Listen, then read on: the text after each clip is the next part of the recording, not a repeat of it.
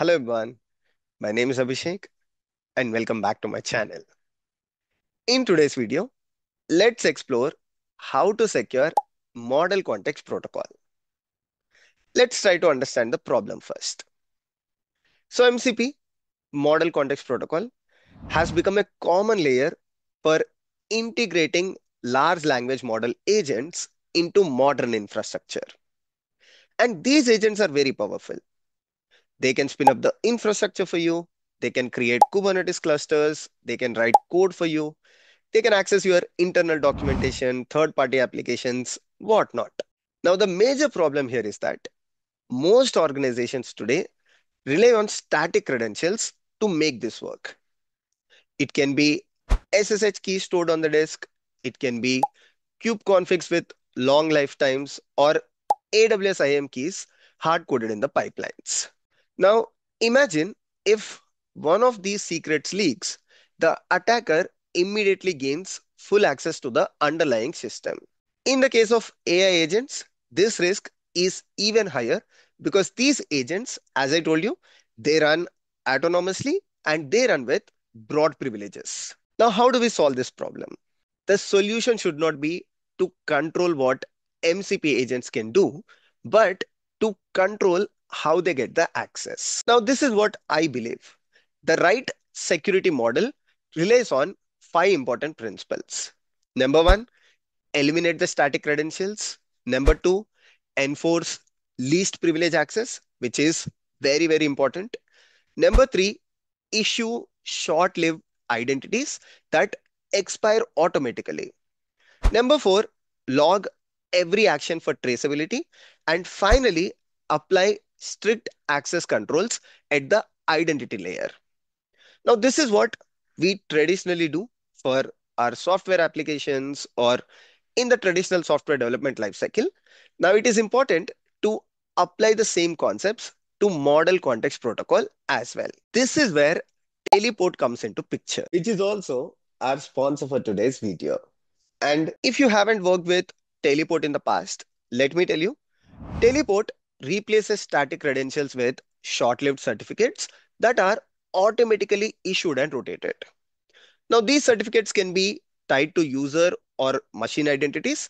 Teleport can secure SSH, Kubernetes, database, internal applications, and even cloud services like AWS. We can use Teleport to apply the same concept to MCP as well. With Teleport, an MCP agent is treated as a first class identity. So what Teleport does here, it allows teams to enforce granular permissions, audit every action, and eliminate static credentials entirely while dealing with model context protocol. But now the big question is, where do you actually use Teleport? So you can use Teleport as part of your daily use cases. Wherever you're using model context protocol today, you can actually use Teleport there. It can be replacing your SSH keys and kube configs with short-lived access certificates. This eliminates key sprawl and simplifies access control while you're dealing with Kubernetes clusters. Another major use case is while securing or communicating with AWS, instead of using long-lived IAM keys, using Teleport, you can use AWS STS credentials which are short-lived. I personally like the use case of using Teleport with CI/CD pipelines.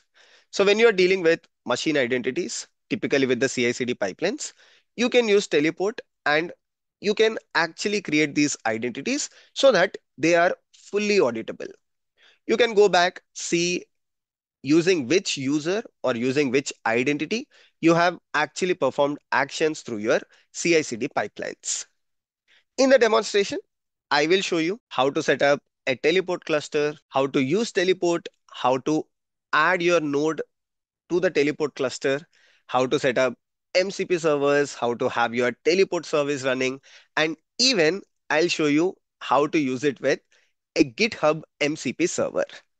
So we'll try to understand the access control and we'll also try to understand auditing point of view using GitHub MCP server and teleport. So for the purpose of demo, I'll use my existing teleport account. You can also create one using the link in the description. It's completely free. or you can also self-host teleport using the steps provided in their GitHub repository. I'll share all the links in the description, so try to go through them. I'll log into my existing teleport account. The best part here is that if you are a beginner, teleport provides you with a cluster. You can use that cluster and you can add one of your virtual machines as a node in the teleport cluster. I'm using AWS EC2 instance and I have already connected that as a node to the cluster. It's very simple. You can head to the documentation or otherwise click on enroll new resources, search for Ubuntu, because in my case, I'm using Ubuntu instance. Click on this, skip adding labels for the first time. You will find a script. Just copy the script and run it on your EC2 instance. Teleport automatically detects the instance and then your instance is added as a node to the cluster. Now, once you do that, just head back to all resources section and just like mine, you will find your EC2 instance here. Now you can connect to the node using the user. In my case, I'll connect through the Ubuntu user. It's that simple. Now, on top of this node, you can run the teleport service as well as MCP servers.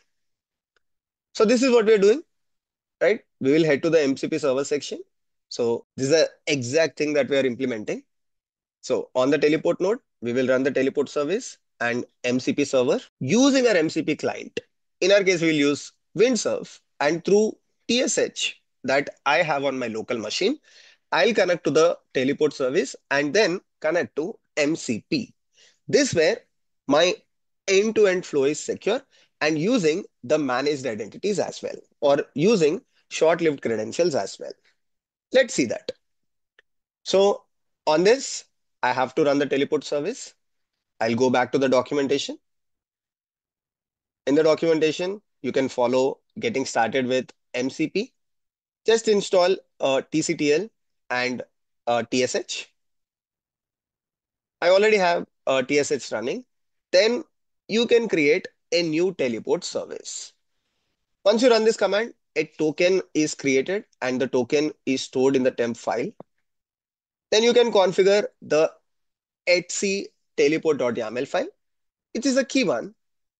So in the etc teleport.yaml, because we are planning to implement a security for MCP,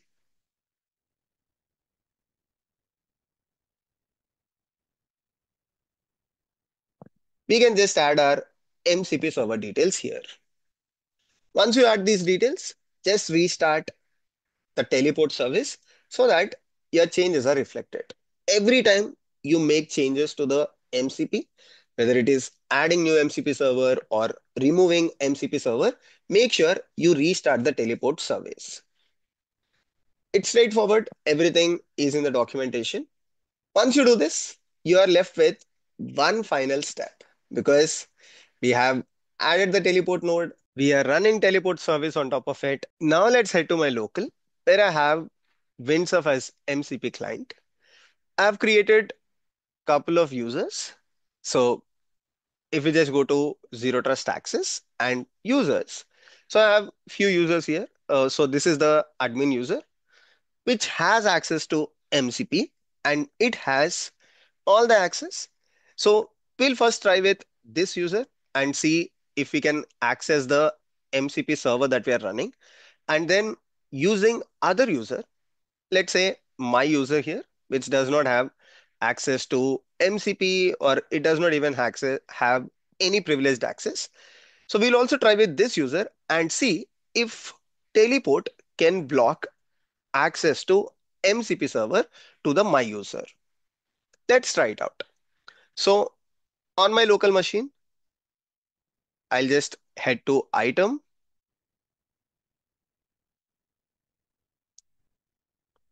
So on my local terminal, I have uh, TSH installed. I'll first log in through veeramalla.abhishek user, which is the admin user. So TSH login proxy. This is my uh, teleport server details. Uh, and then this is the user. Perfect. So I have logged into this user. Now on Windsurf, I'll quickly show you how to add the MCP server details. So you can just run uh, tsh mcp config hyphen hyphen all and everything that you added to etc teleport as part of your teleport service. So that is converted and MCP details are shared to you in the JSON format, which you can just copy and add it to your MCP client. In my case, Windsurf. Open the uh, MCP config file, right? Edit. So this is a JSON file. I just pasted it here and I have all the three MCP servers running. So you can see I have dev everything, I have GitHub MCP server, and I also have the demo MCP server. Perfect. Now let's test it with the admin user. I've signed in with it. So I'll just run this, get list of GitHub repositories, right? Okay, so get the list of GitHub repositories. Let's see if it is talking to the MCP server. Perfect. MCP tool, teleport MCP server, get me, and it started getting all the GitHub repository details. So these are the top repositories that I have. And overall, I have more than 50 repositories. It also provides the information, uh, everything that's needed, uh, the number of stars, what exactly is the repository. If required, I can also create new repositories because I have complete access to the MCP server using this user. Now this time, let's test it with the other user which does not have access. So we did not define the MCP access or we did not grant the MCP access to my user uh, in the zero trust access section. So let me switch to that user. TSH login hyphen hyphen user, my user. Okay. And I'll just do TSH MCP ls. And you should already see you don't have access to any tools on the MCP server. So even you get a warning here, but still let's go back to MCP client. Let's restart the MCP client, which is always a good practice. Quit. I'll restart Windsurf. Okay. Now I'll just take a complete new tab uh, on the Windsurf Cascade, right? Let's try the same thing. Let's the GitHub repos. I'll help you get the GitHub repos. It tried to find the MCP server, but it says, I don't have access to the MCP configuration file. And do you want me to run the GitHub CLI command? So this way, we can block access to users. We can define everything in the zero trust access. We can define short-lived credentials. And even know, if you go to zero trust access, not only about uh, granting access, but you can also define proper RBAC. For example, uh, in the user section, I can provide my admin user with auditor access. I can provide my admin user with editor access and to the other users, I can just grant the read access. But specifically for MCP, there is a design role access MCP. So you can also define the RBAC using this access MCP role. Now, the other interesting thing when it comes to auditing, I'm sure every company today wants to look at the audit details. So you can see here, uh, my user tried to access MCP. This is the MCP server and you're provided with clear timestamp. Uh, so this is the timestamp when user tried to access and this is the specific cluster. And you can see this audit logs. Uh, of course, if you have uh, the required access. So you cannot see it with every user. Uh, in my case, I have only granted auditor access to veeramalla.abhishek. So only if I log into my teleport cluster through this user, I can see the detailed audit logs and I can investigate any misuse of the MCP or maybe I can go back and perform the postmortem. Perfect. So this is how you can implement zero trust access, and auditing to your MCP servers using Teleport. I would highly recommend you to go through that documentation and explore other use cases of Teleport. Now, I don't have to tell you how important is securing MCP going to be in the future. Every company today wants to run their AI agents, wants to configure their own MCP servers. It can be internal or external. So it is very important to secure the MCP servers with right access control and also proper auditing.